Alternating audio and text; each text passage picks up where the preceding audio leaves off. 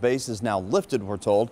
Good morning, Tri-State, of course, will bring you the overnight developments beginning at 4.30. Now back here at home, we're hearing firsthand accounts of what happened inside a limestone quarry in Clermont County. That's right. Two workers are in the hospital tonight recovering from a reported mining accident. This all happened this afternoon at Arch Materials on State Route 276 in Batavia. Nine on your side's Kristen Swilley joins us now.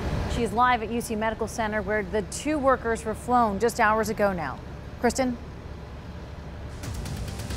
Yeah, good evening, guys. We are working to learn more about those two workers flown here earlier this afternoon after that accident. Now, officials aren't saying a lot about exactly what happened, but we have heard a 911 call, and the communication between first responders paints a picture. Be advised, I have someone pinned underground. Chopper 9 was overhead in the minutes after something went wrong deep underground at this Batavia business. I'm on the surface.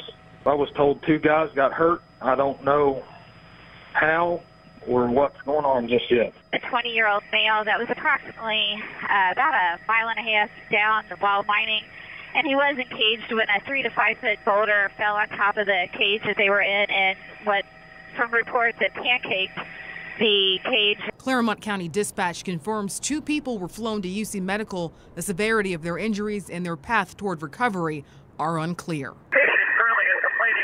Is of the left chest, right forehead, and numbness in his bilateral legs. This is because he has trauma stat. He has numbness to both legs and is not able to move uh, the left leg. He has good pulses there. Complaining of back pain as well. Now, Arch Materials and its parent company, the Rogers Group, based out of Nashville, Tennessee, while neither of them are commenting on the condition of their workers or again what could have happened here. Reporting live at UC Medical this evening, Kristen Swilley, 9 on your side.